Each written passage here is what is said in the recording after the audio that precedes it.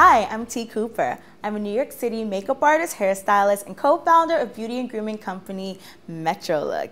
Today we're going to talk about a question one of you recently asked, which was, what kind of scarf should I use to tie my hair up at night?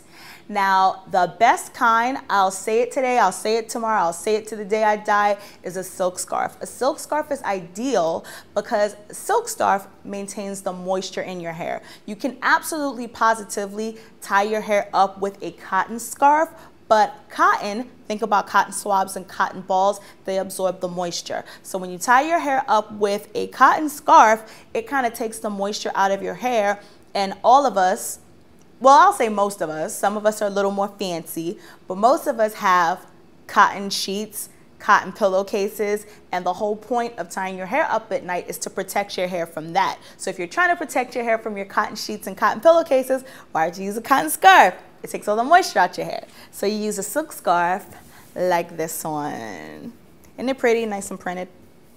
So what I like to do, even though I'm gonna tie the hair up, is I like to put it in a ponytail or a bun just so that it I don't have hairs poking all out the scarf. So we're just gonna gather the hair very loosely. It doesn't have to be anything formal or anything. We're just, we're gonna tie it up anyway. We just wanna get it out the way. I'm gonna go in with my bungee, but you don't have to use a bungee. You can use a hair tie, a rubber band, whatever it is that you have. Give it a little, uh, and now it's in a ponytail and it's gonna be away. It's gonna be easy for us to gather it all up in the scarf. So you fold your scarf into a triangle.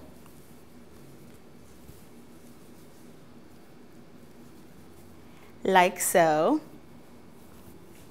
And then we take it from the forehead on back. And then we tie a knot at the bottom. At least that's how I like to do it to secure it. And then I tie another knot so that it's not gonna go anywhere. And then with this ponytail, you see how the ponytail's peeking out of the scarf a little bit? I like to just roll it on up into the scarf and then tie a knot over that. Just so it's not gonna go anywhere. Depends on how wild you sleep. I just like to pull at it.